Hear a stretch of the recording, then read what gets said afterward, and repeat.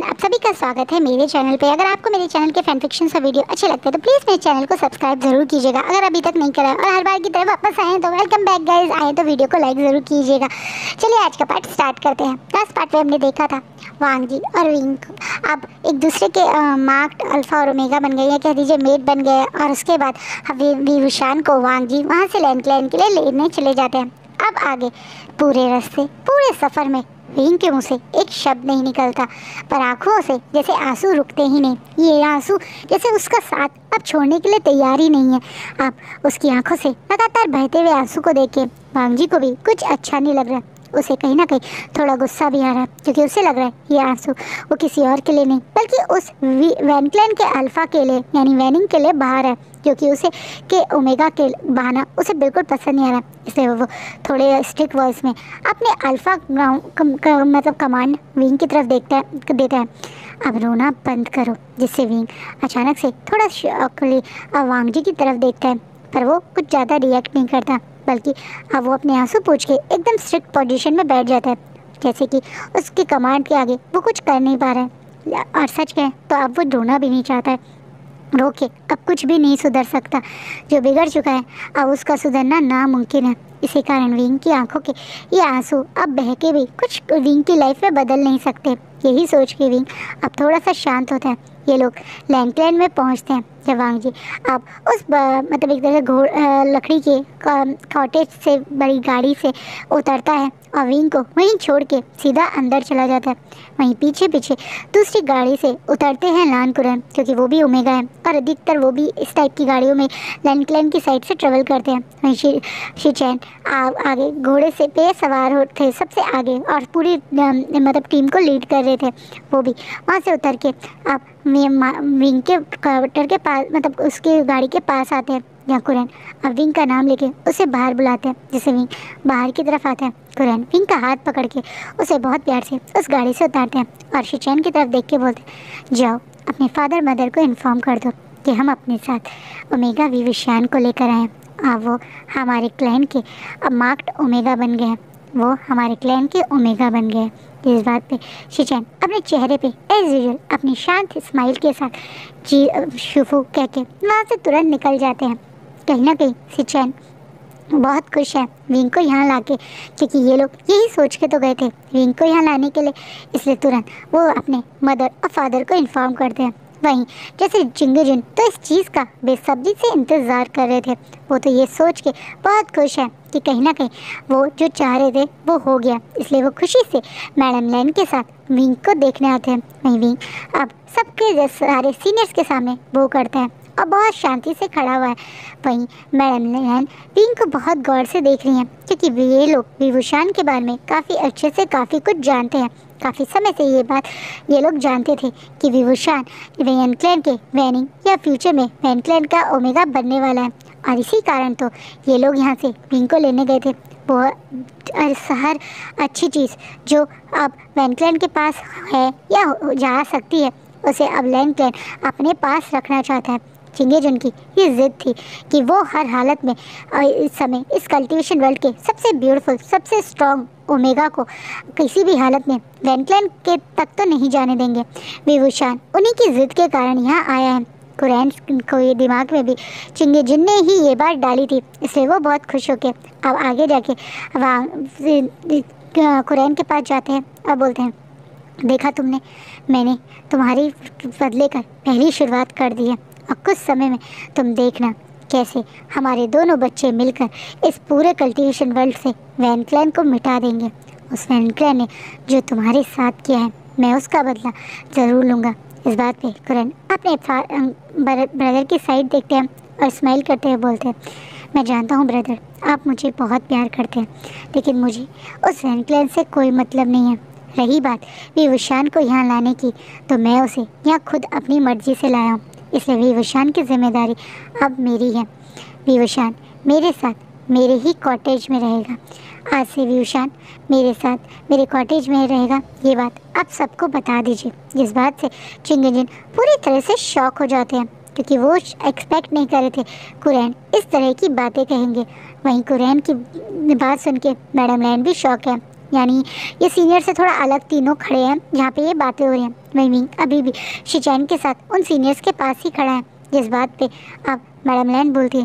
लेकिन ये तो लांगवांग जी का ओमेगा है ना? तो ये लांगवांग जी के साथ क्यों नहीं रहेगा? अब मैडम लैन, थोड़ा शॉकिंगली शिचैन और कुरैन की तरफ़ देखते हुए बोलती है, जिस बात पे एकदम से चिंगेजन थोड़ा गुस्से होती आवाज़ में बोलते हैं ओमेगा आप, हम मेरे, हमारे बीच में बोलने की कोशिश मत कीजिए। लैंड फॉरन, आपका काम है कि आप क्लाइंट के अंदर जो काम हो रहा है, उस पर ध्यान दीजिए। ये मेरे और मेरे भाई की बात थी और आपको किसने कहा कि लांगवांग जी और विभूषान एक साथ रहेंगे? विभूषान यहाँ सिर्फ़ मार्क होके आया है और उसका अपने अल्फ़ा के साथ रहना ज़रूरी नहीं है। इसलिए वो जहाँ कुरैन चाहेंगे विभूषान वहीं रहेगा। कुरैन, अगर तुम चाहते हो कि विभूषान तुम्हारे साथ रहे तो ठीक है। विभूषान तुम्हारे साथ रहेगा। कहीं ना कहीं चिंगे जिन, इस बात के लिए इसलिए अग्री हो गया क्योंकि उन्हें लग रहा है कि कुरैन विभूषान को अपने पास रख के, उसे पे गुस्सा करेगा, उसे अपना सर्वेंट बनाएगा, या इस तरह से अपने गुस्सा उतारेगा। लेकिन कुरैन, कुछ और सोच के विंग को अपने साथ रख रहे हैं। इसलिए वो अब विंग की तरफ़ देखते हैं। वहीं अब चिंगे जो डिसीज़न हुआ है, उसे सबके बीच में डिक्लेयर कर देते हैं। कि वे आज से लैन कुरैन के साथ रहेंगे। लैन कुरैन उन्हें लैन क्लैन के बारे में सिखाएँगे। लैनक्लैन का ओमेगा कैसे बिहेव करते हैं लैन क्लैन के ओमेगा कैसे रहते हैं, उनकी क्या रिस्पॉन्सिबिलिटी है, वो समझाएँगे। क्योंकि वो लैन क्लैन के सबसे अच्छे ओमेगा बेस्ट एक तरह से ओमेगा का एग्ज़ाम्पल है लैन कुरैन इसलिए इसलिए सब लोग, सारे सीनियर्स और एल्डर्स भी इस बात पर अग्री हो जाते हैं। वहीं जिसे कोई फ़र्क नहीं पड़ता, वो किसके साथ है, कहाँ है। वो एक बुद्ध की तरह खड़ा है, वो जैसा सब लोग कह रहे हैं। उस बात पे गर्दन हिला के हाँ कर देता है। अब कुरैन बिल्कुल विंग के पास जाते हैं और बहुत प्यार से उसके सर पे हाथ फिराते हैं। जिससे विंग अब थोड़ा सा शौकीनली कुरैन की तरफ़ देखते हैं। अब कुरैन बोलते हैं, चलो विवेशान आप अपने घर चलते हैं। और ये बोलने के बाद कुरैन विंग को लेकर वहाँ से चले जाते हैं। शिशैन खुश है कि विंग कुरैन के साथ रहते हैं, क्योंकि वो कहीं ना कहीं कुरैन की आदत को जानते हैं। सबके सामने सख्त दिखने वाले, सबसे ज़्यादा एक तरह से स्ट्रिक्ट लान कुरैन कभी भी किसी के साथ गलत नहीं कर सकते। और ख़ासकर किसी ओमेगा के साथ तो कभी भी नहीं। उनके दिल में ओमेगास के लिए एक अलग टाइप की इमोशनली अटैचमेंट है और विंग भी। और उनमें से एक है, कहीं ना कहीं, वांग जी शिचान ये चीज़ फील कर चुके हैं। वही वांग जी जिनजी में आके अब वो अंदर, इधर उधर सामान फेंक रहा है और उसे समझ नहीं आ रहा है, वो क्या करे? उसे बहुत गुस्सा आ रहा है। वो अपनी इतनी आगे तक कैसे जगह है? उसने कैसे ये लिमिट क्रॉस कर दी? तो कैसे? कैसे उस ओमेगा के साथ फ़िज़िकल हो सकता है? जिस ओमेगा की माँ ने ही उसके मदर के साथ ये सब किया है। लांगवांग जी, अच्छे से जानता है। कि उसकी मदर मैडम लैन नहीं है। उसकी मदर जो है या जिसने उन्हें उसे बर्थ दिया है वो तो उन्हें कभी अपने मदर या फादर कह भी नहीं सकता है। क्योंकि वो सच जानता है कि उसके मदर या ये कह दीजिए उसके फादर ने उसे बर्थ देने के लिए जो पेन सहा जो सब कुछ उसके दिमाग में चल रहा है कहीं ना कहीं वांग जी के अंदर एक अजीब अलग आ, एक नफ़रत है जिसे शायद यहाँ कोई भी नहीं जानता है। वो नफ़रत जो 12 साल के वांगजी के दिल में घर कर गई वो गुस्सा जो 12 साल के वांगजी ने इस दुनिया के खिलाफ अपने दिल में भर लिया और ख़ासकर कुछ खास लोगों के खिलाफ। उनमें से एक कहीं ना कहीं विभूषान की मदर चांसा सरन भी थी और विभूषान को वांगजी इतनी जल्दी अपना ओमेगा मार्क कर, करके सिर्फ़ यहाँ लाके अपने सामने रखना चाहता था। एक ट्रॉफ़ी की तरह कैसे अब उसने सोच लिया है कि वो वेंकलन से धीरे धीरे करके उनके सबसे अच्छी चीज़ों को छीन लेगा, जिनमें से एक सबसे पहला वी उशान ही था, जिसे वो यहाँ सिर्फ़ एक ट्रॉफ़ी की तरह ही लाना चाहता था। ना ही उससे कोई इमोशनली अटैचमेंट रखना चाहता था और उसके साथ फ़िज़िकल तो कभी नहीं होना चाहता था। लेकिन अब अब उसने क्या कर दिया? वो ये क्या कर बैठा? वो अपनी लाइफ के इतने इंपॉर्टेंट पार्ट को एक विल उसके जीवन के दुश्मन में से एक के बच्चे को कर दे दिया। ये उसने क्या कर दिया? कहीं ना कहीं वांगी, उस चीज़ पे ही खुद पे गुस्सा है और फ्रस्ट्रेशन में ये चीज़ें कर रहा है। तब अचानक से रूम का डोर खुलता है, या और गेट पे खड़े हुए इंसान को देख वांगी थोड़ा शांत हो जाता है। ये कोई और नहीं, बल्कि मैडम लैन है, जो प्यार से अब उस रूम में एंट्री कर रही है और एकदम से टूटे हुए सामान को देख के थोड़ा सा घबराते बोलती है, आजान, क्या हुआ तुम्हें? ये ये कमरे की क्या हालत बनाई है तुमने? अचानक से अपनी मदर की आवाज़ सुन के वांग शांत होकर खड़ा हो जाता है। वहीं एकदम से मैडम लैन दौड़ के आगे जाके वांग जी के हाथ पैरों और फेस को चेक करती है। तुम ठीक हो ना? तुम्हें इन सब चीज़ों के फेंकने में चोट तो नहीं लगी?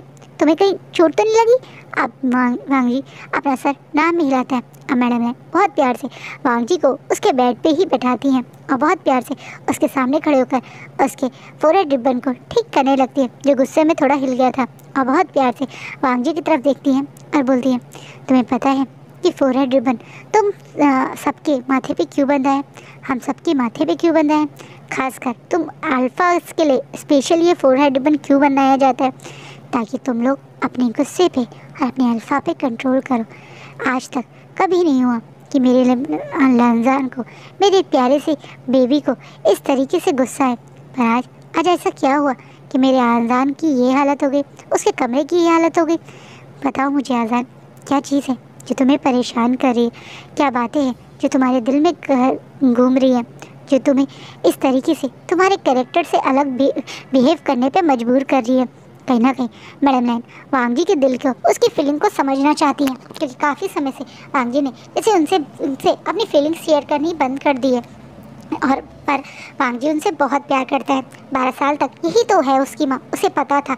हाँ वो सच जानता है कि अब ये उसकी माँ नहीं है, और वो इनके मुँह पे नहीं बता सकता। है लेकिन वो जानता है कि ये लेडी उसे माँ के जैसे ही प्यार करती है। इसलिए वांगी अपनी मदर को एक होता है हक कर लेते हैं। यानी वो खड़ी हुई हैं वांगी उन्होंने बैठे हुए हक किया हुआ है। जिसके कारण वांगी का सर अभी उनके टमी पे है जिस पे उस वो आ, आ, मतलब थोड़ा सा इमोशनल है।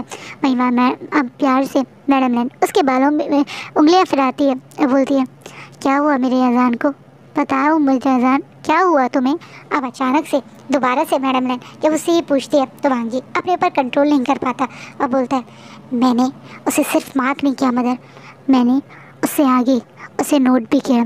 जिस चीज़ से मैडम लैन पूरी तरह से शौक हो जाती है, और एकदम से खुद को वांगी से दूर करके उसके चेहरे को देखने लगती है। क्या? हाँ मदर, ये बात मैं सबके बीच में बता नहीं पाया, लेकिन मैं और वी विशान अब बहुत आगे बढ़ चुके हैं। मैंने उसे नोट किया है अगर सचमुच में तुम और वी विशान ऑलरेडी एक दूसरे के साथ फ़िज़िकल हो चुके हैं तो तुम्हें पता है ना, एक तरीके से तुमने लैंड क्लैन की ऑलमोस्ट शादी का कंप्लीट कर दी है। तुम अच्छे से जानते हो मार्क्ड होने के बाद अगर तुम अल्फ़ा और ओमेगा एक दूसरे के साथ फ़िज़िकल हो जाते हैं तो वो लाइफ टाइम के लिए मेड बन जाते हैं। हाँ मगर मगर मैं ये सब नहीं करना चाहता था। मुझे नहीं पता उस समय ऐसा क्या हुआ। मुझे लगता है उस विशान ने ट्रिक करी है। उसने जान पूछ के मुझे टारगेट अपनी तरफ़ अट्रैक्ट किया। उसने जान पूछ के मुझे ट्रिगर किया, जिसके कारण ये सब हुआ। मैं ये नहीं करना चाहता था, लेकिन उसने ये सब मुझे करने पे मजबूर किया। उसने मुझे ये सब करने पे मजबूर किया, जो मैं कभी नहीं करना चाहता था। और ये बोल के वामजी के चेहरे फिर से गुस्से में कन्वर्ट होने लगता है। जिसे देख के अब मैडम लैन थोड़ा घबरा जाती है और बोलती है, अरे ये सच है तो तुम अच्छे से जानते हो कि आप, तुम और विभूषण एक दूसरे से अलग नहीं रह सकते हो। मुझे विभूषण के साथ नहीं रहना, मदर। मैं उसके साथ कभी नहीं रहना चाहता था। मैं सिर्फ़ उसे माफ़ करना चाहता था, ताकि मैं उसे यहाँ लैंडक्लैन ला सकूँ। ताकि वो कभी लैंडक्लैन ना जा सके। अब इससे आगे कोई बात करते, अचानक से वहाँ पे एक सर्वेंट आ जाता है और वो लांगवांग जी को चिंगुजुन ने बुलाया, ये बताने आया था, जिसकी वजह से वांग जी वहाँ से तुरंत अपने फादर से मिलने चले जाते हैं। वांग जी को यहाँ से जाता देख के अब मैडम लैन मन में सोच रही हैं, मैं जानती हूँ, मैं जानती हूँ कि तुम्हें सब कुछ पता है भी आज़ान, मुझे ये भी पता है कि तुम सब कुछ सच, जानते हो, लेकिन मैं ये नहीं चाहती कि तुम उस सच जानने के बाद खुद को अपनी नफ़रत में जला लो। जैसे इतने साल से मेरे अल्फ़ा जल रहे हैं। मैं नहीं जानती कि कैसे मैं तुम्हें या मेरे अल्फ़ा को समझाऊं, पर मेरे जीवन के सबसे ख़ास लोग, खासकर वो लोग जो मेरी दुनिया है, वो इस नफ़रत की आग में जल रहे हैं। और मैं कुछ नहीं कर पा रही हूँ। मैं इस चीज़ के बारे में सोचती हूँ तो मुझे खुद पे और अपनी हालात पे बहुत गुस्सा आता है। वे विशान इस चीज़ में कहीं भी इंक्लूडेड नहीं है, लेकिन वो अब तुम्हारे साथ जुड़ चुका है।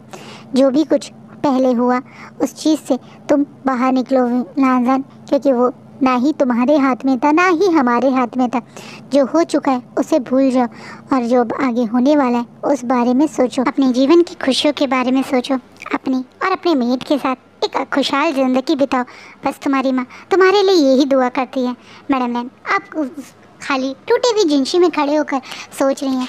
उनकी आँखों से भी आँसू बह रहे हैं, क्योंकि उनके हस्बैंड कितने सालों से इस नफरत की आग में जल रहे हैं। वो चिंगेजिन जो बिल्कुल शिचैन की तरह एक शांत, मुस्कुराने वाले अल्फ़ा थे, अब वो एक गुस्सेल, हर बात पे जिद करने वाले अल्फ़ा बन चुके हैं।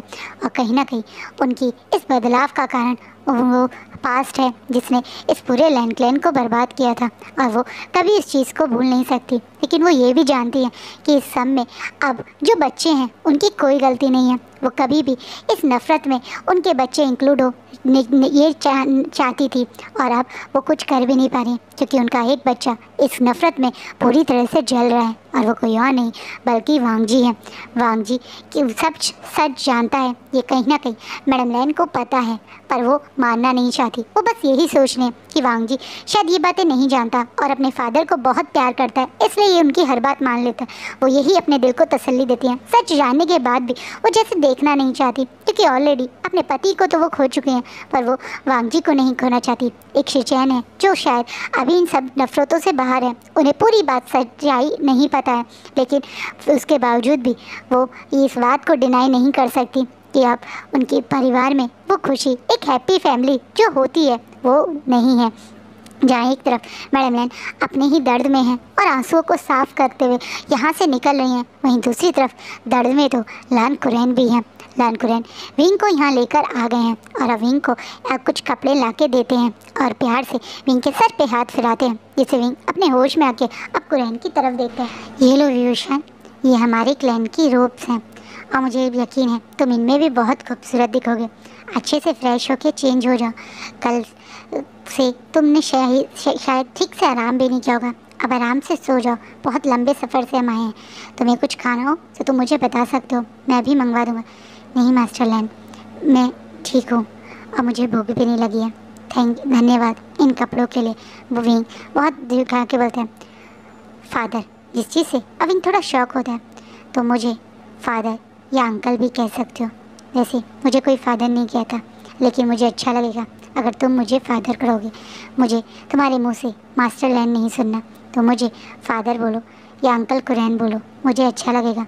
इस बात पे भी थोड़ा इमोशनल हो जाता है क्योंकि अभी उसे कोई अपना चाहिए, जिसे वो गले लगाए ज़ोर ज़ोर से रोए, बताए कि उसे दर्द हो रहा है, उसे दुख हो रहा है, उसका सपना टूट गया, उसे पेन हो रहा है, वो बेचारा किसी ऐसे कोई तो चाहता था, उसके उसकी सीजे उसकी मदर उसका ब्रदर या उसके फादर कोई तो अभी वो फादर तो नहीं लेकिन अब कुरैन से फादर बोलने के लिए कह रहे हैं, इसलिए विंग अब एकदम से कुरैन को वो कपड़े नीचे छोड़ के मतलब हाथ से छोड़ के तुरंत गले लगा के ज़ोर ज़ोर से रोने लगता है। वहीं कुरैन शायद विंग के इसी रोने को सुनना चाहते थे, क्योंकि उन्हें पता है, दर्द अगर अंदर होता है तो कितना ज़्यादा पेनफुल होता है। लेकिन वो आँसू से बह जाए तो थोड़ा मन को हल्का लगता है, और वो यही चाहते हैं विंग को इस समय हल्का फील करवाना चाहते हैं। वो बहुत प्यार से विंग के सर पर हाथ फिराते हैं, और बहुत प्यार से उसकी कमर भी सहलाने लगते हैं।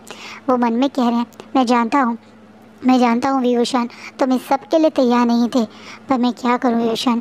ये ज़रूरी था, ये तुम्हारे लिए ज़रूरी था, हम सब के लिए ज़रूरी था। मैंने जो तुम्हारे साथ अब गलत हुआ, वो खुद कर, तुम्हारे साथ होते हुए देखा है, लेकिन अब आगे से मैं ऐसा कभी नहीं होने दूँगा। मैं अब तुम्हारे साथ कुछ गलत नहीं होने दूँगा। मेरा वादा है मुझसे कि मैं तुम्हारा पूरा ध्यान रखूँगा। तो मैं यहाँ हर चीज़ से प्रोटेक्ट करने की कोशिश करूँगा। चाहे वो खुद मेरे ब्रदर का गुस्सा और मेरे ब्रदर की नफ़रत हो, मैं वो भी तुम तक नहीं पहुँचने दूँगा। कहीं ना कहीं कुरैन अब विंग को बहुत प्यार से गले लगा के कह कह रहे हैं। वो विंग को जैसे पहली बार में ही अपना मना आ चुके थे। विंग का उस तरीके से सबके बीच में उनके पास आना और ये कहना कि विंग उन्हें एडमायर करता है। वो बात कहीं कुरैन के दिल पे लग गई थी। या सच कहें, इस मासूम से, छोटे से ओमेगा के साथ, आज जैसे उन्होंने खुद को ही देख लिया हो। इन्हें आज जिस तरीके से विंग उस जगह खड़ा था और जैसे एक टाइम पे वो ऐसे ही चीख चीख के, इतनी ही कम उम्र में सबके बीच में चिल्ला चिल्ला के बोल रहे थे कि उस दिन कुछ गलत हुआ है। आज विंग को वैसे ही करते देखकर कुरैन ने और विंग के अंदर अपने आप को देख लिया। लेकिन आज कुरैन विंग के साथ वो नहीं होने देंगे जो उनके साथ हुआ था। आज वो विंग को अपने सीने से लगा के उतना प्यार देंगे जितना वो चाहते थे। उस समय कोई उन्हें दे जब उन, वो उनके साथ गलत हुआ था जब उनके साथ कोई खड़ा नहीं था। आज विंग के साथ अभी वो रहकर विंग को वो दर्द नहीं महसूस करने देंगे। इसलिए वो विंग को जब तक वो रोता है उसे रोने देते हैं। उसके आँसू को एक बार भी या उसे चुप होने की कोशिश नहीं करते। विंग रोते रोते रोते कब कुरैन की ही ऐसी बाहों में सो जाता है। विंग को पता नहीं चलता। वहीं कुरैन देखते हैं कि विंग रोते रोते सो गया। तो बहुत प्यार से विंग को लेटाते हैं। आराम से एक गीले कपड़े से उसका फेस क्लीन करते हैं। उसके ऊपर के रोप उतार के उसे आराम से लिटा के उसके उसे एक अच्छे से कपड़े से कवर करते हैं। और फिर तुरंत वहाँ से अपने ब्रदर से मिलने चले जाते हैं। क्योंकि वो अपने ब्रदर के पास जाके ये क्लियर कट बताना चाहते थे कि वो विंग को अब अपना बेटा मानने लगे हैं। अब वो सब के बीच में, ये जल्द ही बताएँगे भी। वो यही सोच के वहाँ से निकल के जाने ही वाले थे, जब सामने उन्हें मैडम लैन मिल जाती है। वहीं मैडम लैन और कुरैन एक दूसरे को यहाँ देखकर थोड़ा शौक होते हैं। मैडम लैन यहाँ विंग और कुरैन से कुछ बात करने आई थी, लेकिन कुरैन इस तरह अपने घर को छोड़ के कहीं जा रहे हैं, वो देख मैडम लैन भी शौक है। वही मैडम लैन इतनी रात में उनसे बात करने आई है, ये देख के कुरैन भी शौक है। वहीं दूसरी तरफ़ लांगवांग जी अपने फादर, यानी चिंगे जुन के पास पहुँचते हैं। जब चिंगे जुन लांगवांग जी को वहाँ देख के बहुत खुश होते हैं और बोलते हैं, आओ लांगवांग जी, मैं तुम्हारा ही वेट कर रहा था। आज मैं सचमुच में बहुत खुश हूँ और ख़ासकर उसका कारण तुम हो। आज तुमने मुझे दिल से बहुत ज़्यादा खुश कर दिया आज तुमने मुझे वो खुशी दी है जिसका मैं वर्षों से इंतज़ार कर रहा था। आज पहली बार मैंने जैसे वैन से उनकी कुछ चीज़ छीन ली हो। मुझे इतनी खुशी मिल रही है। फादर, मुझे खुशी हुई कि आपने आपको मैंने खुश करा। तुम हमेशा ही मुझे खुश करते हो, वांग जी। और मैं तुम पे बहुत ज़्यादा गर्व करता हूँ। ये तो बस शुरुआत है, वांग जी। अब तुम और मैं मिल के उस वैनक्लेन से वो सब कुछ छीन लेंगे, जो उनके पास है, जिनके वो काबिल भी नहीं है। उस वैनक्लेन ने मेरे भाई को जो दुख दिया है, मैं उस चीज़ का उनसे बदला ज़रूर लूँगा। वो दर्द जो मेरे भाई ने इतने साल से झेला है, मैं उस चीज़ को कभी नहीं भूल सकता। और मुझे यकीन है, तुम मेरा साथ ज़रूर दोगे।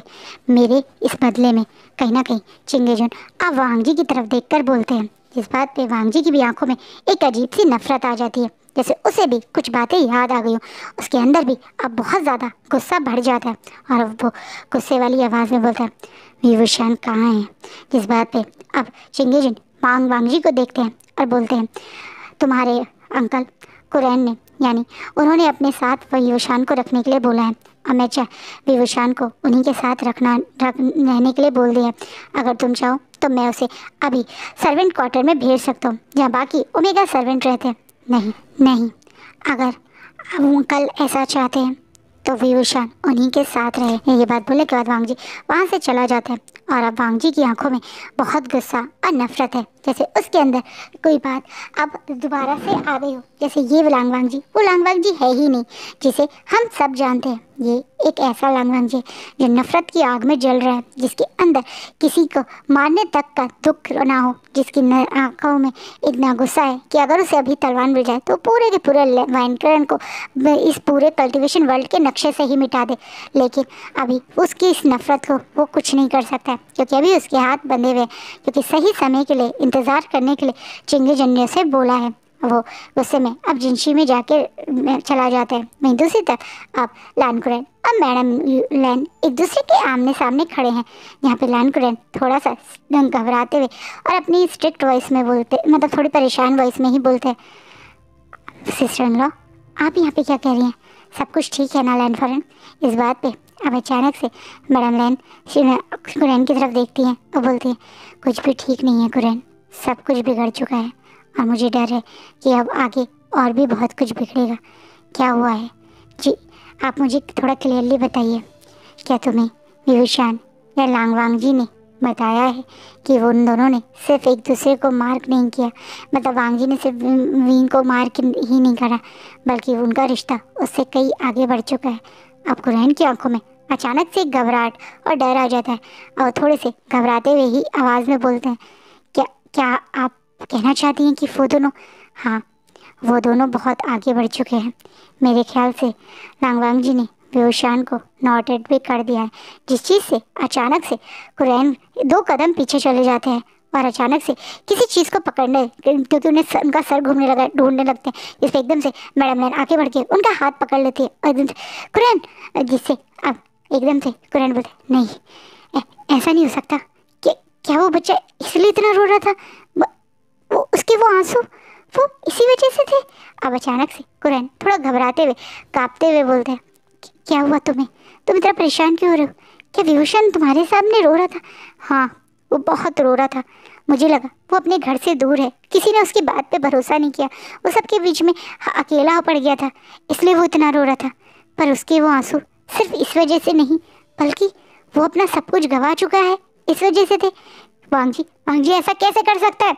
मैंने उसे बोला था कि उसे सिर्फ़ विभूषण को मार्क करना है। ये सब करने के लिए हमने मना किया था। उसके बाद उसने ऐसा किया, मैं उसे कभी माफ़ नहीं करूँगा। मैं उसे अभी इस चीज़ की पनिशमेंट दूँगा, ये बोल के लान कुरैन गुस्से में आगे बढ़ने ही वाले थे, जब एकदम से मैडम ने उनका हाथ पकड़ के उन्हें रोक दिया, नहीं कुरैन, तुम ऐसा कुछ नहीं करोगे। मांग जी पहले से ही बहुत गुस्से में है, और अगर तुमने उसे पनिशमेंट दी तो वो इस पनिशमेंट का गुस्सा भी कहीं ना कहीं विभूषान पे ही उतारेगा। मैंने आज वही वांग जी की आँखों में वही अल्फ़ा देखा है जो मैंने कई साल पहले मेरे हस्बैंड की आँखों में देखा था, मुझे डर है, कुरैन, कहीं जैसे तुम्हारा ब्रदर मेरा अल्फ़ा, इस नफ़रत की आग में इतना बर्बाद हो चुका है, कहीं उस लांग वांग जी को भी बर्बाद ना कर दे। मैं नहीं जानता। मैं उस लांगवांग जी के बारे में कुछ नहीं जानता। मुझे उस लांगवांग जी से कोई मतलब नहीं है। मुझे मतलब है तो सिर्फ़ पीयूषान से। इस उमेगा को मैं कुछ नहीं होने दूँगा। अगर लांगवांग जी को गुस्सा करना है तो करे, लेकिन अब वो इतना आगे बढ़ चुका है तो वो रिस्पॉन्सिबिलिटी लेगा। मैं जल्द से जल्द सीनियर्स और एल्डर से बात करके इन दोनों की शादी करवाऊँगा। एक लीगल एक तरीके से अरे लैंडक्लैन के सामने विभूषण, अब लांगवांग जी का मेड बनकर सबके सामने आएगा। मैं ये चाहता हूँ, जिस चीज़ के लिए विभूषण काबिल है, उसे वो मिलेगा। उसे वो सम्मान मिलेगा, वो इज़्ज़त मिलेगी और फ्यूचर में वो लैंड फॉरन बनने के लिए टाइटल के लिए एलिजिबल होगा। कहीं ना कहीं कुरैन विंग के लिए स्टैंड लेते हुए ऐसा बोल रहे हैं, जिसे मैडम लैन अब कुरैन की तरफ़ देख रही हैं अब बोल रही हैं, पर तुम्हें लगता है कि चिंगू जी ने ऐसा होने देंगे?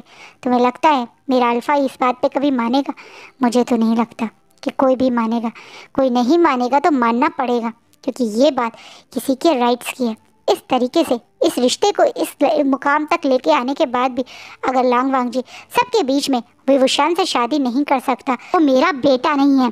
कुरैन अचानक से मैडम ने कुरैन को रोकती है तुम ये क्या बोल रहे हो? तुम अपने बेटे के आप, न, को इस, इस तरह से मजबूर नहीं कर सकते? क्यों नहीं कर सकता? आज तक मैंने उसे कभी किस चीज़ के लिए मजबूर किया है? लेकिन अब बात किसी ओमेगा की इज़्ज़त की है उसके सम्मान की है। और जो मैं कभी भी ऐसे उजड़ते हुए नहीं देख सकता। मैं अपने बेटे को ये गलत काम करते हुए कभी नहीं देख सकता। माना कि वो, मैं वाम जी को सबके बीच में अपना बेटा नहीं मान सकता, लेकिन वो मेरा ही बेटा है और उसके अंदर मेरा खून है और मेरा खून कभी भी किसी ओमेगा के साथ ऐसा गलत नहीं कर सकता। कहीं ना कहीं कुरैन, आप थोड़ा सा इमोशनल होते हुए बोलते हैं, जिसमें मैडम लैन बोलते हैं हाँ वो तुम्हारा है बेटा है और ये बात तुम और मैं और सिर्फ़ तुम्हारे अब ब्रदर जानते हैं। तुम्हें क्या लगता है, जिस तरीके से तुम इस समय मुझे हक जता के बता रहे हो कि वो तुम्हारा बेटा है, क्या तुम उसे वो हक से कभी कह सकते हो? सच्चाई तो ये है कुरैन, बचपन से तुमने उसे अपने से सबसे ज़्यादा दूर किया है। उसे कभी भी अपने सीने से लगा के प्यार नहीं करा। तुम उसकी मदर थे, लेकिन कभी भी तुम उसे जन्म भी नहीं देना चाहते थे। उस समय भी वो मेरी और तुम्हारी मदर की ज़िद थी, जो तुमने उसे जन्म दिया। और जन्म देने के बाद तुमने कभी उसे मुड़कर भी नहीं देखा। आज वांगजी की इस हालत के पीछे कहीं ना कहीं तुम भी जिम्मेदार हो। तुम एक बार आगे बढ़ के उसे गले तो लगाते, उसे प्यार तो करते तो शायद वो ऐसा नहीं होता। वो ऐसे इमोशनल लेस नहीं होता। पर कुरैन, कहीं ना कहीं उसे ऐसे बनाने के पीछे हम सब हैं और कहीं ना कहीं अब उसे किसी चीज़ के लिए ज़िद में करना शायद गलत होगा, क्योंकि अब वो हम सब के हाथों से बहुत बाहर निकल चुका है। अगर वो नहीं चाहेगा तो तुम या मैं कोई भी मिल उसे फोर्सफुली व्यांग जी से विंग से शादी के लिए मजबूर नहीं कर सकते। इस बात पे कुरैन अब बिल्कुल शांत खड़े हो जाते हैं क्योंकि तो मैडम ने शायद बहुत बड़ी और बहुत सच्ची बात कहनी कहीं ना कहीं वो अभी तो गुस्से में बोल बैठे कि वो उनका बेटा है। लेकिन क्या सचमुच में कुरैन इस हक से वांगजी से कह पाएँगे कि वो उनका बेटा है और तो उन, उनकी बात मान के उसे विंग से शादी करनी चाहिए? कुरैन इसी सोच में है। आप कुछ बोल नहीं पाते हैं और आज का पार्ट यहीं रुकता है। सो कल देखेंगे। क्या कुरैन कि सबको अग्री करवा पाएँगे विंग और वांगजी की शादी के लिए। क्योंकि कुरैन के हिसाब से ये सही भी है। अब वो लोग इस रिश्ते में इतनी आगे बढ़ चुके हैं तो उन्हें शादी कर लेनी चाहिए। बट ऐसा होगा या नहीं होगा, वो तो हम नेक्स्ट पार्ट में देखेंगे। आपको ये सच तो पता चल गया है कि लांग कुरैन के बेटे हैं लांग वांगजी पर शिचैन जंग चिंगल जिन के ही बेटे हैं, ये भी आपको मैं बता देती हूँ। आई होप आपको ये फ़ैन फिक्शन अच्छा लगे। कैसे लगे प्लीज़ कमेंट में बताइएगा। Thank you